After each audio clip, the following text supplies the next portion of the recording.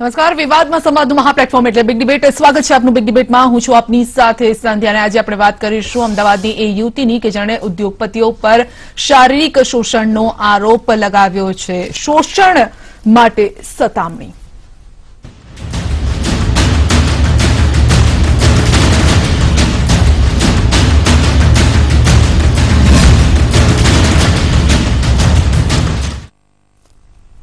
શોષણ માટે સતામણીજી અમદાવાદના ત્રણ ઉદ્યોગપતિઓ સામે એક યુવતીએ ગંભીર આક્ષેપો કર્યા છે. એક યુવતીએ એફઆઈએના ત્રણ ઉદ્યોગપતિઓ સામે શારીરિક, માનસિક ત્રાસ આપ્યાની ફરિયાદ એલિસબ્રિજ પોલીસ સ્ટેશનમાં નોંધાવી છે. અને આ ત્રણમાંથી એક એફઆઈએના પ્રમુખ કેસી પટેલ છે. જ્યારે અન્ય કિરીટ પટેલ અને માનદ મંત્રી અરવિંદ ગજેરા સામે પણ ફરિયાદ નોંધાવાઈ છે.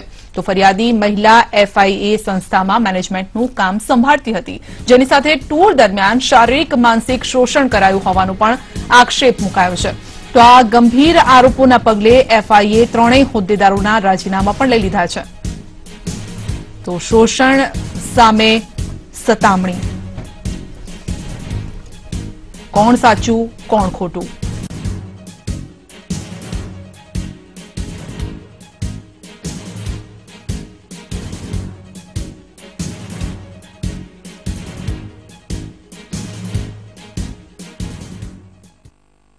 ત્રણેય, અરવિંદભાઈ ગજેરા, કિરીટભાઈ પટેલ અને કેટી પટેલ. આ ત્રણેયની વાતને ન્યાય મને મળે એમાં એમાં મને મદદ કરવાના બદલે એ વાતને છાવરવામાં બધા મદદ કરે છે. એટલે ચાર પાંચ મહિનાના અંતે કંટાળીને પછી મેં નક્કી કર્યું કે હવે ક્યાંય પોલીસ પાસે જવું પડશે. તો પોલીસ પાસે અનુભવ એવો છે કે ક્યાંક પોલીસ નહીં દબાવી હોય, કેમ કે ઘણા બધા એ લોકોના પોલિટિકલ ઓળખાણો પણ છે. તેવા લેવલે ક્યાંક ને ક્યાંક એવો અનુભવ અત્યારે થાય છે. જી હા, તો સતામણીની ફરિયાદ શારીરિક, માનસિક શોષણ કરતા હતા ત્રણ ઉદ્યોગપતિઓને. આ અંગે જ આપણે ચર્ચા કરીશું. ચર્ચામાં આપણી સાથે પીડિતા ખુદ જોડાયા છે. આપનું સ્વાગત છે. આ સાથે જ આપણી સાથે રૂઝાન ખંભાતા સામાજિક કાર્યકર્તા પણ જોડાયા છે. રૂઝાન આપણું પણ સ્વાગત છે. હું પીડિતા આપને પૂછવા ઈચ્છીશ કે આખરે આ મામલો શું છે? કારણ કે જે વાત આગળ સામે આવી રહી છે તે છે જૂન બે હજાર પંદરનો આખો મામલો છે કે જ્યારે હોદ્દેદારોએ આપની સાથે અડપલા કર્યા હતા. તો આ ત્યાંથી શરૂ થઈ છે વાત કે એના પહેલાની આ વાત છે? આપને. એકચ્યુઅલમાં બે હજાર તેરમાં પ્રદીપભાઈ વોરાથી હું એફઆઈના સંપર્કમાં આવી છું. એ પછી બે હજાર તેર અને બે હજાર પંદરમાં એફઆઈ વતી વાયબ્રન્ટ ગુજરાતમાં સ્ટોલ બુકિંગનું મેં કામ કર્યું છે. અને બે હજાર જૂન જૂન બે હજાર પંદરમાં મેં એફઆઈ સાથે એક કરાર કરીને ગુજટેક ઔદ્યોગિક પ્રદર્શનનું મેનેજમેન્ટનું કામકાજ લીધું. હવે જયારે શરૂઆત થઈ જૂન મહિનામાં, ત્યારે શરૂઆતમાં કામ બરાબર ચાલ્યું. પણ જુલાઈ મહિનાથી અરવિંદભાઈના મને ઇમોશનલ મેસેજ આવવાના શરૂ થઈ ગયા. પછી ઇમોશનલ વિડીયોઝ આવે. પછી ધીમે ધીમે એને ઓપન ટોક કરવાનું શરૂ કર્યું. ઓપન મેસેજીસ આવે એમના વિડીયોઝ આવે પણ આ બધાને મેં ગણકારવાનું શરૂ કર્યું. કેમ કે મેં જ્યાં સુધી મારો અનુભવ છે જૂનમાં કે કામ કરતા હોય તો આવા લોકો તો રહેવાના જ. પણ જયારે આપણે નહીં રિસ્પોન્સ નહીં કરીએ ઇગ્નોર નહીં કરીએ તો ધીમે ધીમે બધું બંધ થઈ જતું હોય છે. એટલે આમાં પણ મેં જ કર્યું કે મેં એની સાથે કોઈ પણ જાતનો જવાબ આપવાના બદલે એને અવોઇડ કરવાનું શરૂ કર્યું રિસ્પોન્સ એને ટાળવાનું શરૂ કર્યું. પણ છતાંય એના તરફથી આ પ્રકારની પ્રવૃત્તિ બંધ નહીં થઈ સતત શરૂ જ રહી. પછી ધીમે ધીમે એને ઓપન ટોકની સાથે એકદમ વલ્ગર મેસેજીસ અને વલ્ગર વિડીયોઝ મોકલવાના શરૂ કર્યા. એકાદ બે વાર મેં એમને ખખડાવ્યા પણ ખરા કે ભાઈ મારા પિતાની ઉંમરના છો. એમના ઘરે મારા જોડી કદાચ દીકરી છે. છતાં પણ એમનાથી આ બધું બંધ નહીં થયું અને ધીમે ધીમે વધવા લાગ્યું. જ્યારે કામ કરતા કરતા જ એમ કે એમને ઇગ્નોર કરતા કરતા મારી જાતથી એમને ડિસ્ટન્સ રાખીને મેં કામ એટલા માટે શરૂ રાખ્યું કે બે, ત્રણ મહિનામાં શરૂઆતમાં મેં થોડું ઘણું કામ પણ કરી લીધું હતું. અને મનમાં એક એવો જુસ્સો પણ હતો કે ભાઈ, જે કામ માટે આવી છું, જે લક્ષ્ય માટે આવી છું, એ પ્રદર્શન છે. અને મારું પહેલું આવડું મોટું કામ છે, તો મારે આ કામને કોઈ પણ હિસાબે પૂરું કરવું છે. ધીમે ધીમે કામ કરતા કરતા એ બધું શરૂ થતું ગયું. પછી ઓગસ્ટ મહિનામાં અમે લોકો એક વખત જામનગર ગયા.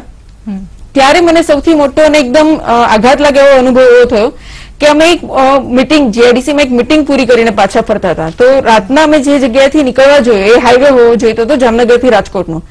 એના બદલે એમને આખો રસ્તો બદલાવીને કાલાવડના સુમસામ રસ્તેથી લઈ ગયા.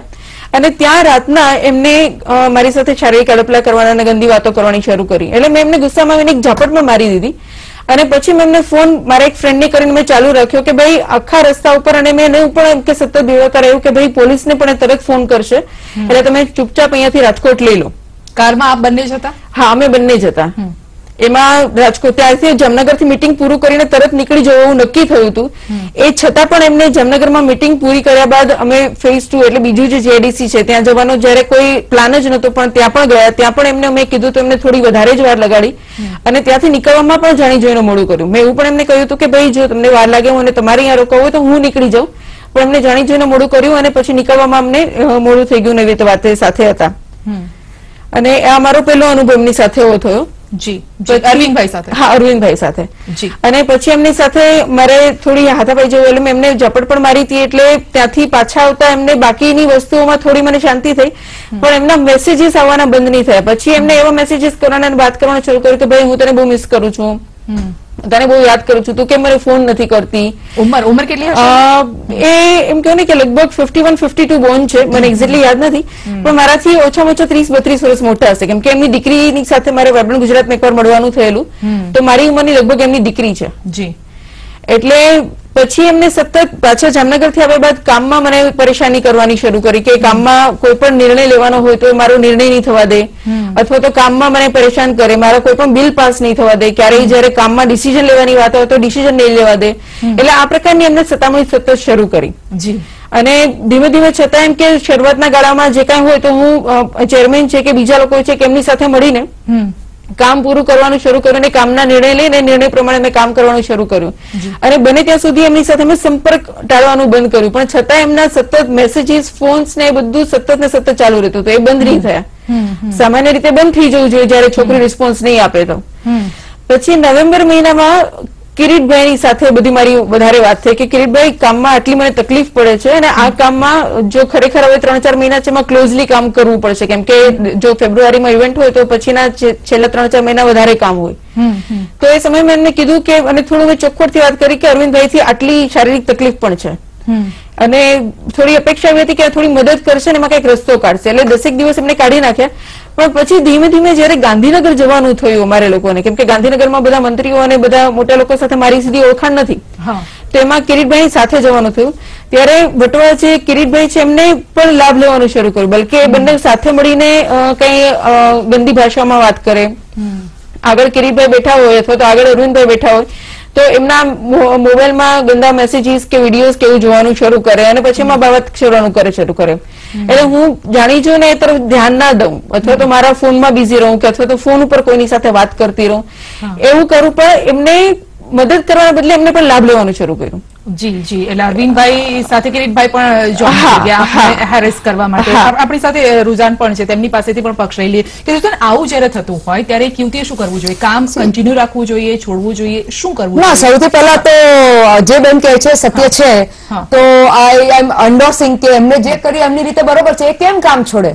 She is not to leave the work why why she should સમાજ હંમેશા એવું જ કહેતો કે કામ શા એટલે લેટ મી લેટ મી એટલે એમને એક્સપ્લેન કરું એક તો શ્યોર એમને આટલું બધું કહે છે કે ઇમોશનલ મેસેજીસ છે વલ્ગર મેસેજીસ છે તો એમની પાસે ડેટા હશે. છે ને બેન ડેટા છે આપની પાસે?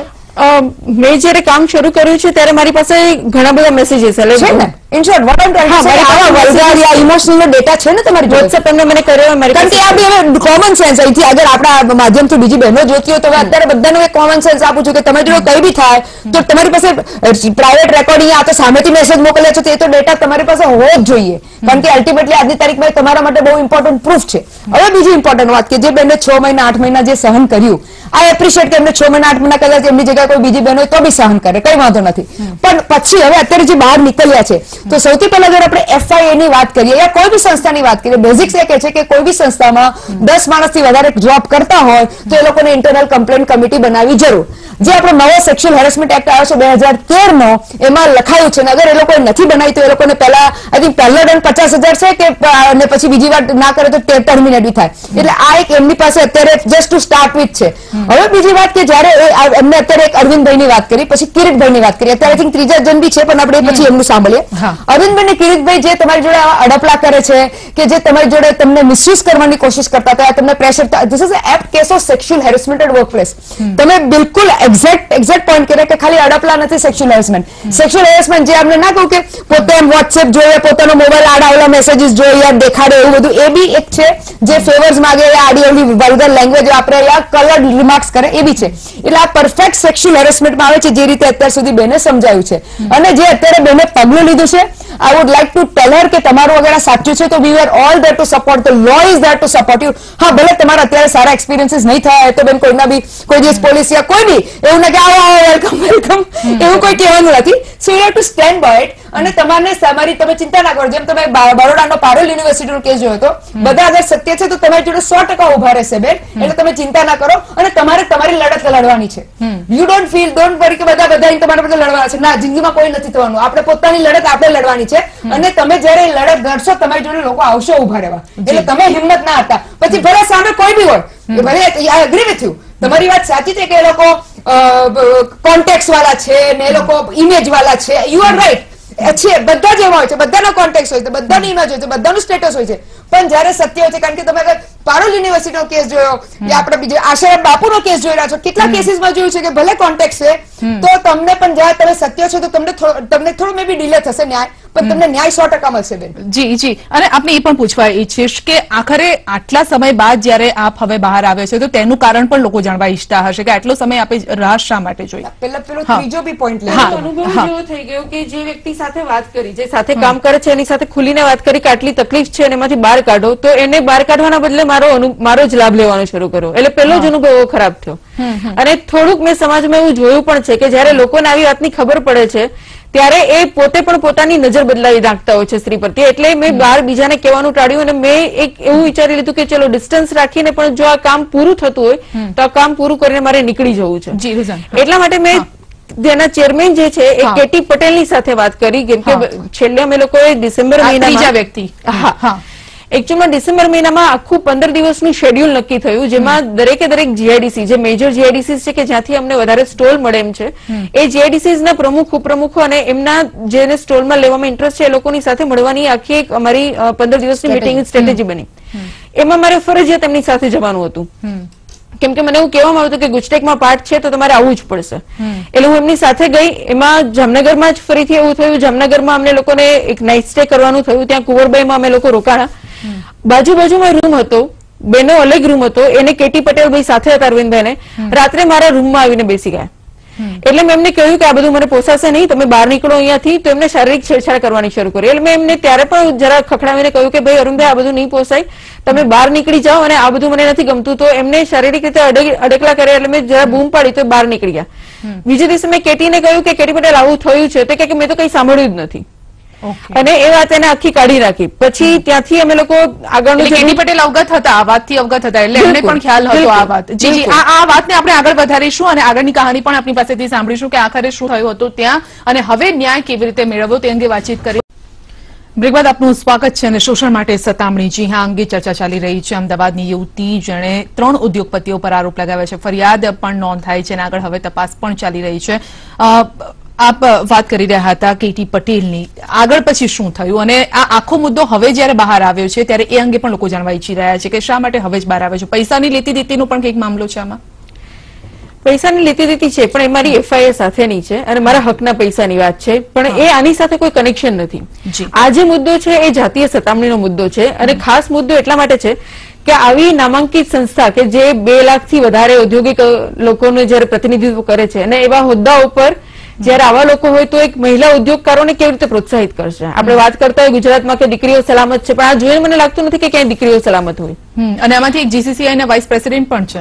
હા કેટી પટેલ જે છે એ જીસીસીઆઈ ના વાઇસ પ્રેસિડેન્ટ છે. અત્યારે સેકન્ડ વાઇસ પ્રેસિડેન્ટ ને પોસ્ટ ઉપર છે. અને એમને આવતા વર્ષે પ્રેસિડેન્ટની ચૂંટણી લડવી છે. એટલા માટે આ મુદ્દાને ગમે એમ કરીને દબાવવાનો પ્રયત્ન કરી રહ્યા છે. અત્યારે પોલીસની સાથે મારી જે વાતચીત થઈ તો એમાં ડિટેલ અભ્યાસ અત્યારે હું કરી રહી છું. પણ ક્યાંક ને ક્યાંક મને અનુભવ થયો છે કે પોલીસની પાસે પણ આ વાતને દબાવાઈ છે.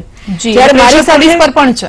હા બિલકુલ. અને જયારે મારી સાથે વાતચીત છે ત્યારે સૌથી પહેલા જે કમિટી બની તપાસ સમિતિની જે કમિટી બનાવી તો તપાસ સમિતિના ચેરમેન તરીકે પણ કેટી પટેલને બેસાડ્યા.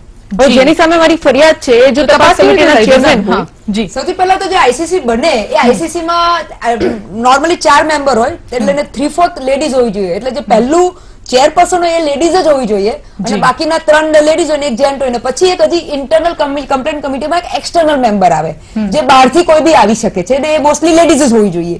એટલે જ્યારે આ થાય તેને જ તપાસ કમિટી કહેવાય. પછી તમે તમે ઘર ઘરની અંદર અંદર ગિલ્લી દંડા રમો એને તપાસ કમિટી પણ ના કહેવાય. અગર તમે સેક્સ્યુઅલ હેરેસમેન્ટની વાત કરો. મને જે તપાસ કમિટી છે એક જ એક જ લેટર દ્વારા જાણ કરવામાં આવી કે આ પ્રકારની તપાસ કમિટી છે. મારા લેટર અગેન્સ્ટ મેં એમને જાણ કરી કે ભાઈ કેટી પટેલે રાજીનામું લીધું છે એનું અને બિપિનભાઈ એની જગ્યાએ છે. એ તપાસ કમિટીએ ફરી એક સબસિડરી તપાસ કમિટી પોતાના અંદરમાં નિમી છે અને એમાં ચાર લોકો છે, જેમાં પ્રદીપભાઈ છે મોહન નાયર છે મંગળદાસ છે અશોકભાઈ પટેલ છે અને હજી બે લોકો છે.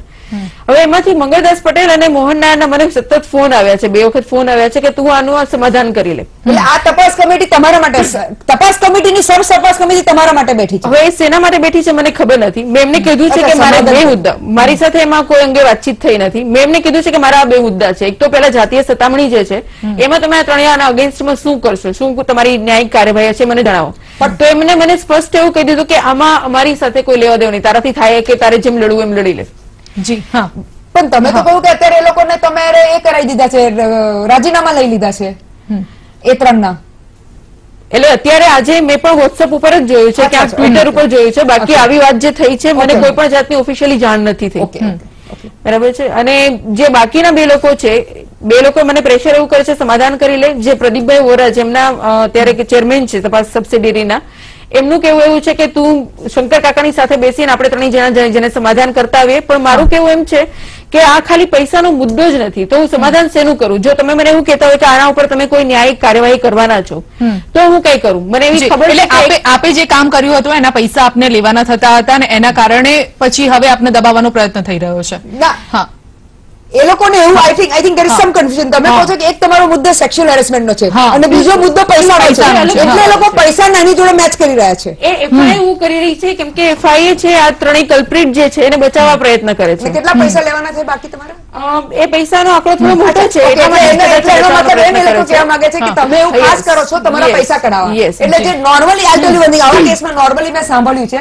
કે પૈસાનું વચ્ચે લાવીને એ લોકો એવું કહેવા માંગે એટલે બેનનું નામ બદનામ કરાય ઘણી વાર બિલકુલ, કે આ જો પૈસા માંગવા છે એટલે એને આવું કામ કર્યું છે. બલકે મને એવી રીતે બીવડાવવામાં આવે છે. આ તપાસ કમિટીના લોકો મને એવું બીવડાવે છે કે તારા ઉપર બદનક્ષીનો દાવો કરવામાં આવશે. જી. જે બિલકુલ અને જે આજે મને એવું ખ્યાલ આવ્યો આટલા મહિનાથી કામ કરું છું મારી સાથે તકલીફ થઈ એટલે બીજા લોકો જે ઓફિસમાં છે બધાની સાથે વાત થઈ. એમાં ધીમે ધીમે મને ખ્યાલ આવ્યો કે હું પહેલી નથી. મારા પહેલા પણ ત્રણ. છોકરીઓને આવી રીતે હેરાન કરી છે કે જેની મને ખબર પડી છે.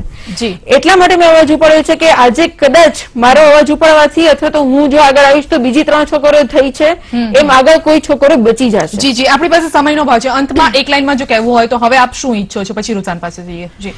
મારી ખરેખર ગણતરી એવી છે કે જેને જાતીય સતામણી કરી છે એમને પૂરેપૂરો એમના માટે જે કઈ સજા છે સજા થવી જોઈએ. અને આ માટે હું છેક સુધી લડીશ અને એમને બરાબર સજા થવી જોઈએ કે અને દાખલો એક બેસો છે સમાજમાં કે દીકરીઓને હેરાન કરવી એ બરાબર વાત નથી. જી બેન આઈ ટોટલી એન્ડોર્સ તમે જે કહેવા માંગો છો કે તમે સાચા રસ્તા પર છો અને તમારે આ કરવું જ જોઈએ તમારા પોતા માટે ન્યાય લેવા અને તમારી બીજી બહેનો માટે ન્યાય લેવા અને બીજા જોડે ના થાય એના માટે. પણ જોડે જોડે હું તમને કહેવા માંગુ છું કે તમારે આ લડત પોતે લડવી પડશે. લોકો બીજી વાત કહું કે તમારા વિટનેસીસ કદાચ એ થશે એટલે તમારે વન થર્ટી ના જે પેલા એના વિટનેસીસ લખાવા એ બધું પહેલાથી કરજો. બીજું ઇમ્પોર્ટન્ટ પોઈન્ટ અગેન રિપીટ કરું છું કારણ કે બીજા લોકો સાંભળે તે લોકો માટે કે તમારી કંપનીમાં બધી બહેનો પ્લીઝ જુઓ કે તમારી કંપનીમાં આઈસીસી હોય. અને અગર નથી તો તમે કલેક્ટર શ્રી અને વુમેન એન્ડ ચાઇલ્ડમાં એક લેટર લખો કે સાહેબ અમારે ત્યાં આ કમિટી નથી એ લોકોને નિમોવિત કરવી જ જોઈએ. અને મારો બીજી વાત છે ફાઇનલ વાત કહેવા માંગુ છું કે આજ પછી તમારી જોડે કઈ બી થાય તો તમે રેકોર્ડિંગ રાખો તમે પ્રૂફ રાખો. તમને કામ રાખશો ભલે છ મહિના જૂનું છે એક મિનિટ તમે ઘણી વાર કીધું છે કેસ જૂનો છે એક વર્ષ જૂનો છે બે વર્ષ જૂનો છે. ડોન્ટ વરી બે વર્ષ છે તો બી વાંધો નથી જી પણ તમારે પરંતુ પ્રૂફ પ્રૂફ હશે તો તેને સાબિત કરવું વધારે આસાન થઈ જશે અને કોઈ આપણી પર આંગળી નહીં ઉઠાવી શકે આપણી પાસે સમયનો આ જે મુદ્દો છે એમાં ન્યાયિક તપાસ માટે જે કમિટી બેઠી છે. એ કમિટીનો અહેવાલ એ પણ બહાર જાહેર થવો જોઈએ. એ અહેવાલ બહાર જાહેર થાય તો જ આ ત્રણેય દૂધ દૂધ. પાણી સામે આવી શકે છે જો અહેવાલ દબાવવાની કોશિશ ન થવી જોઈએ. આપણી પાસે સમયનો ભાવ છે માટે ચર્ચાને રોકવી છે રુઝાન આપનો અને આપનો અમારી સાથે જોડા બદલ આભાર. તો આખરે હવે પીડિતા ન્યાય માંગી રહી છે. હવે જોવાનું એ રહે છે કે કોણ કોણ તેને સાથ આપે છે અને હવે ન્યાય કેટલો દૂર છે રજા આપશો નમસ્કાર